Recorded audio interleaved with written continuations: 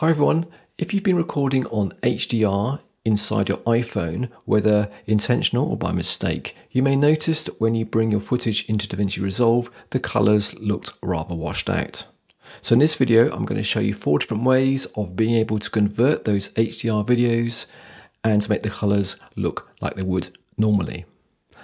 Okay, so what's kind of going on? So on your iPhone, when you actually do a preview, um, let me just bring up a example, or on say on a Mac, the colors look perfectly fine, exactly like you recorded them.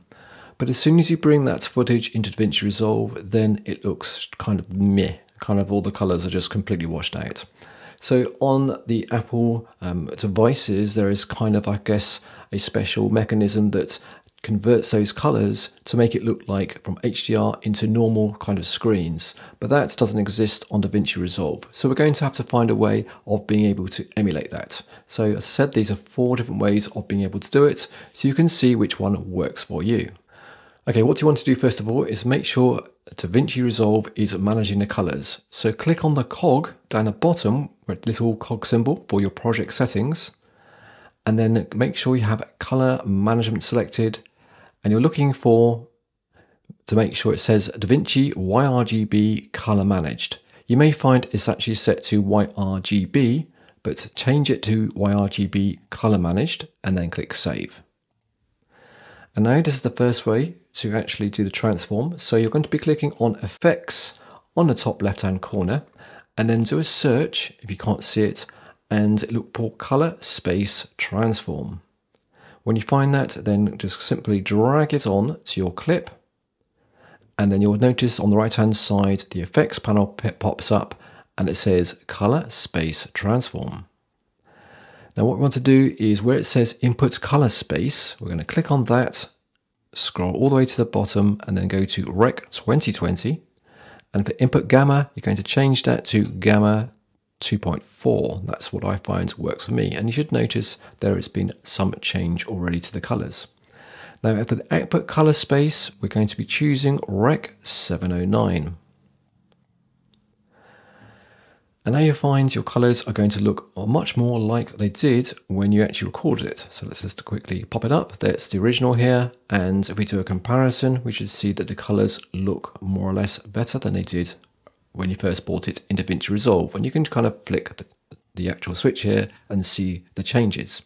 But you may notice that it's still not quite as punchy or as colorful as you kind of hoped it would be. So it's just a case of going into your color tab and just bringing a little bit of a contrast. So you can do that by clicking on the little curvy S here, um, where it's got a little black dot at the bottom. I like to bring that guy up a bit and you can see that if you do too much, it's going to go quite dark, but kind of around about sort of, you know, a few centimeters or so in, and then it's going to make your colors look a little bit, a bit nicer.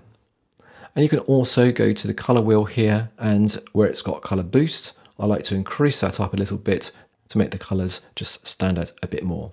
And you may want to brighten your picture depending on kind of uh, the actual footage. Okay, so the second way is quite similar to the first way. We're just going to do it in a different way. And that is click on the actual uh, clip you want, then go to the color tab, find the clip on the actual uh, clips on the color tab. If you find the clips aren't showing, then make sure that the actual clips at the top here is selected. So they should appear underneath your viewer. Then right click on that clip. I'm looking for input color space bring it across, and then go to Rec 2020, and then Rec 2020 Scene. And now you can just do a little bit of a kind of adjustment in this um, down here, and maybe make it just change the contrast to what you fancy, and also increase the color boost, just like we did in the very first example. So that's the second way. Let's now go to the third way. In the third way is also in the color tab. You can do this also using nodes. So make sure your nodes is selected. So if there's not, then you're going to click on where it says nodes at the top. Then right click on the actual first node and do add, add serial node. And you should get just a copy of it here. So it's very much like layers in Photoshop or something like that. And then we're going to go to effects at the top here to a search for, say, color or color to find the color space transform, drag that onto the second node, and I'm going to get kind of similar as we see on the first example. I'm going to choose for input color space, Rec 2020. Input gamma is going to be 2.4, and you can notice some change, and then change your color output space to Rec 709. And once again, you can just be making some changes to the contrast to make a little bit sort of similar to what your original footage was like. So that's the third way of doing it. Alright, so on to the fourth way. Now this is actually not using the actual color transform at all. I actually find it's you get pretty good effects just by changing the color and contrast to be honest.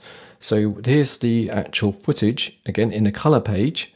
And my favorite way of doing it is just to use this S uh, tool here think it's called tool, we're not sure curves, it says here.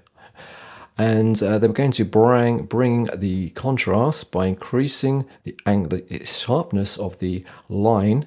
If not used this tool before, so we're going to bring the actual darks up a bit to something like that, and then maybe, maybe increase the brightness, which you can do by dragging this one to the left, and then going to my color wheel here, and the color boost I like to set you know fairly high. And you should now notice that the colors uh, maybe a little bit too much uh, my color boost, but the colors are going to be look so much nicer than they did in, in the original thing. If we'd actually do a comparison, that's the washed out version from the Rec 2020, and just by doing a bit of contrast and color, we get this, which is looking so much nicer. So you, well, I've done some comparisons between the four different methods, and to be honest, um, for speed, I found that just by doing simple contrast and color boosts actually gives pretty good effects um, if you don't want to be good doing the actual technical details of going through the color management way. But for those purists who want to kind of do it the proper way, in uh, air quotes, then there's three different ways of doing it. Hope this is useful guys and of course give it a thumbs up and subscribe to the channel for more tips and tricks on DaVinci Resolve.